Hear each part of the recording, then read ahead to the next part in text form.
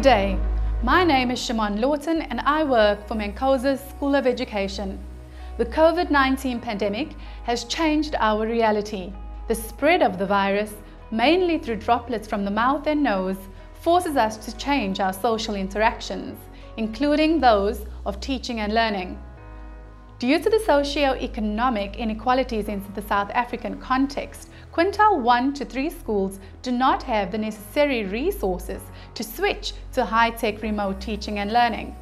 Over and above this limitation is the capacity and the readiness of some teachers as technology skills were always seen as a tool for the ICT classroom. But COVID-19 has thrust all educators into this uncharted territory as we look at how to effectively teach and learn remotely. This webinar series will focus on building and fine-tuning tech skills of educators throughout the South African context, from those with none or limited tech skills to those looking to refine their ability to teach remotely. We at MANCOSA School of Education believe that the challenge brought about by COVID-19 pandemic should not result in children from deprived environments being left behind. It is with this in mind that we have gathered together professionals to equip and train our teachers to serve our communities meaningfully during this time. The MANCOSA SOE is proud to be a partner in this essential initiative to equip our educators and enable them to adapt to this changing environment. Good day. Today we start phase three of our webinar series. We are focusing on episode one where we speak about Google Sites being used as a platform for educators. We have with us an expert in this field, Lauren McNabb. After studying at University of Edinburgh, Scotland, Lauren went on to teach all subjects at the elementary grade levels. She spent five years teaching in rural schools in southern Scotland and then moved to Dubai to teach at Al Ittihad Private School. She currently serves as the curriculum coordinator from grades 1 to 5. She is studying um, for her Master's in Education with a focus on teacher leadership. Lauren's passion for education keeps her at the forefront of global strategies, including technology and education. Welcome, Lauren. Hi, Shimon. Today I'd like to share with you the key features of Google Sites for use in the classroom. Google Sites allows teachers to share materials, games, resources, YouTube clips, activities, um, through a simple and easy to build website. Google Sites is completely free. All you need is a Gmail account um, in order to be able to create your Google Sites. But Gmail is also free to set up. Google Sites, when used effectively, can connect us with our students and their learning and really help us to build and create meaningful and impactful learning experiences. It's also a great way for us to connect with parents, for us to share information, newsletters, vocabulary, all these things. I've been using Google Sites for a few years now as a teacher and more recently as a curriculum coordinator, collecting and gathering um, evidence of learning that's required of me from my school. So hopefully this is useful to you.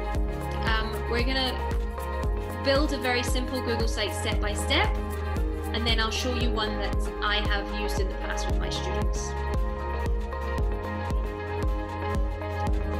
So as I said, in order to be able to create a Google site, the first thing that you need is a Gmail account. You need an email address that is with Gmail. Once you have that and you go to Google, you can log in to your Gmail account. Then at the top of your Google page, you'll find these boxes. In these boxes, you'll find all of the applications that Google provides. So we're looking for Google Sites.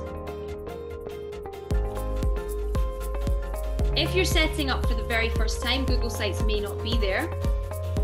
So if you click more from Google, you will find it there.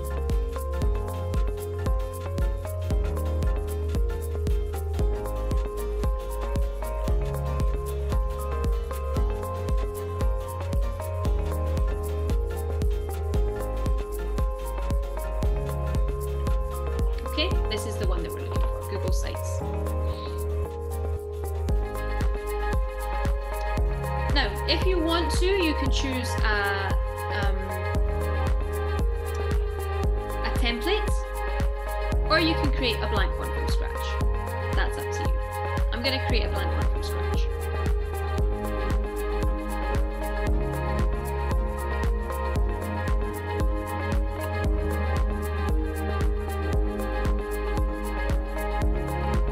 Okay, the first thing that you need to do is name your website. So let's call this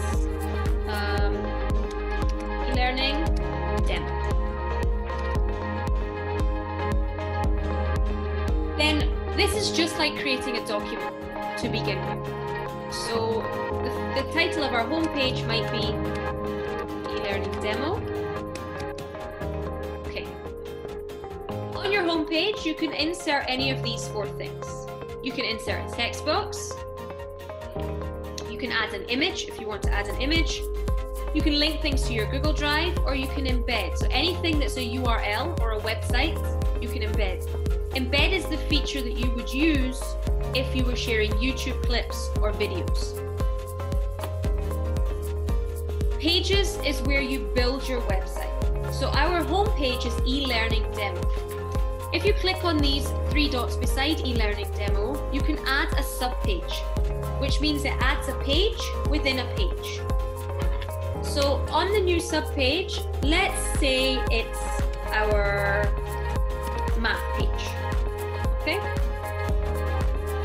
So now you have a subpage just for math. Now say we were studying multiplication, for example. You were studying the three times table.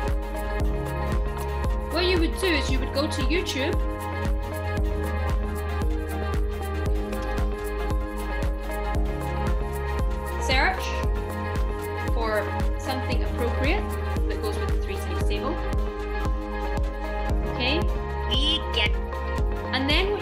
to do is click on this share button and you want to copy this link.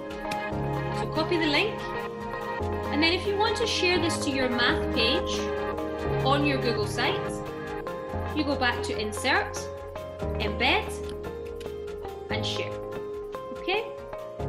Then you're going to insert that. Now, to change the size, you can use these dots so that when students go onto this page, it's there for them and they can just play it right from your website. They don't need to worry about going to YouTube and finding the link and all these things. Okay? If you wanted to add uh, three times table games,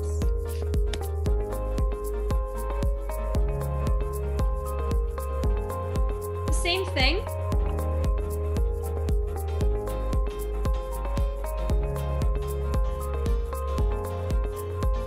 Okay, here's a little quiz. Do the exact same thing.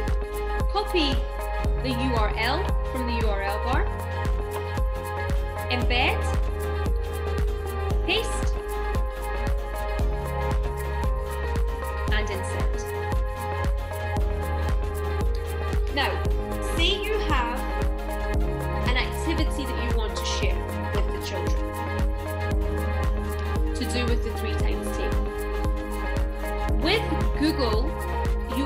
Automatically get a Google Drive account. So what you can do is you can link activities directly from your Google Drive account. So if I click on Drive here, I recently uploaded a three times table activity to my Google Drive that I wanted to use for this website. Click on it.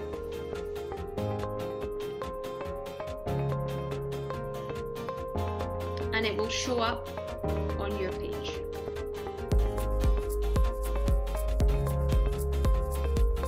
Okay. So, so far we've looked at a video, a game.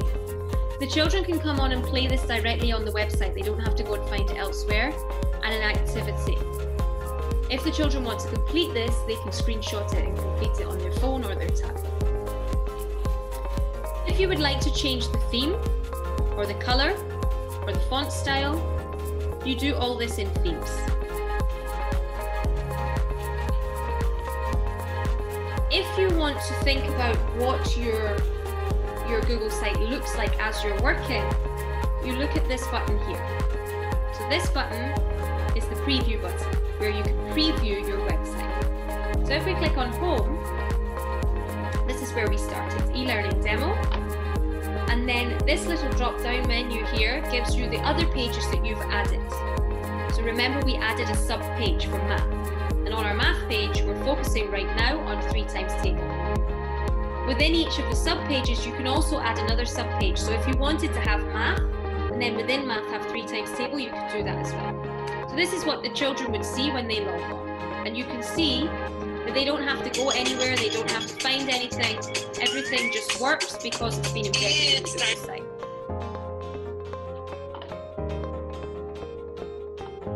Okay, and we want to end the preview. Now this hasn't been published yet, so I haven't shared it with anyone. When you're finished and you're happy with your Google site, you're going to click on Publish. You can go back and edit it afterwards, don't worry. When you publish, says it's been published successfully. In the drop down um, in the drop down menu, you can view the published site. You can share, or you can copy the link so if you copy the link and you wanted to send it to your students via WhatsApp or email, when they go in, they will see your finished and published site. So here we are in that.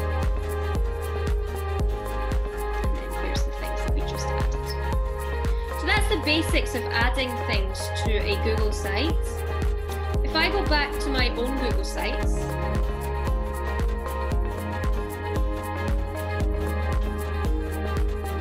and I have a look at the ones that I've done before, so I was teaching grade 4 English at the beginning of this year. So this is um, how I used it in my classroom.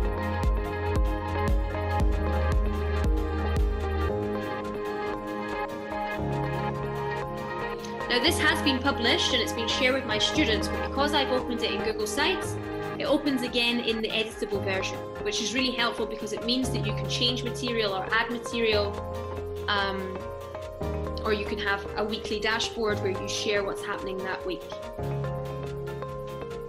So this is what my site looked like for my own class in grade four. Within home, this was the story that we were studying at the time, which was Antarctic Journal. Okay? And on there I would put the school newsletter, the focus wall for this story. And then within Antarctic Journal, I added extra pages. The first thing that led them to the story so that they could read it at home. And then we had information about the reading skills that we were working on and a YouTube video. Not sure why that one's not working now. Then we also had other skills that we were working on in the classroom. So these were the vocabulary words. This is a game that the children can play to practice their vocabulary, and so on and so forth. So this was a working um, Google site that I was using with my students.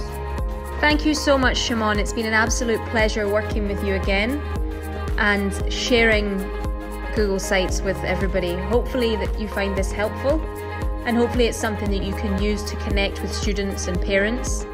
There are many other aspects of Google that I also find very useful, so I would really recommend that you go on and you explore once you have a Gmail account because the opportunities with Google are really endless. Thanks again, and I'm wishing you all the best. Thank you, Lauren, for those amazing tips on Google Sites. I can't wait to get going myself and being able to use it as an educator in my classroom. Thank you. See you next time.